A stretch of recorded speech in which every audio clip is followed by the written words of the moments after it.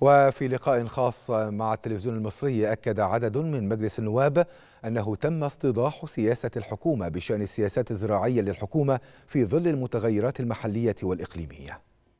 كنا بنناقش طلب مناقشة عامة مقدم من السيد رئيس لجنة الزراعة بمجلس الشيوخ حول استيضاح سياسة الحكومة بخصوص السياسات الزراعية في ظل التحديات والمستجدات اللي تم الأخيرة الفترة الأخيرة. نقدر نقول إن إحنا في تحديات واضحة لمسناها كلنا ويمكن يعني كل شعوب العالم وليس الشعب المصري خاصة بتوفير الأمن الغذائي. النهارده إحنا اتكلمنا بشكل واضح على إن هناك احتياج لتوفير السلع الاستراتيجية وعلى الرغم من ذلك ما فيش سياسة واضحة حتى هذه اللحظة. متعلقة بالسياسات الزراعات التعاقدية اللي بتحث الفلاح على يعني زراعة المحاصيل الاستراتيجية وكمان سياسة متعلقة بالدولة. إزاي هتحصل على هذا المحصول. في طلب مناقشة النهارده لاستيضاح سياسة الحكومة بشأن السياسات الزراعية وأتوقع إن الأمن الغذائي النهارده قضية وجود للمجتمع المصري. بالنسبة لنا عندنا تحديات كبيرة جدا أزمات عالمية حرب روسية أوكرانية.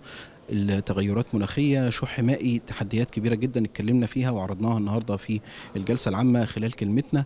وإحنا محتاجين فعلا نقف على الفجوات والمشكلات اللي بتواجه الفلاح المصري في هيكل الوزارة سواء من بداية من الفلاح النهارده اللي هو حقيقه الهدف الأساسي بالنسبة لنا ومعول البناء في الثروة الزراعية.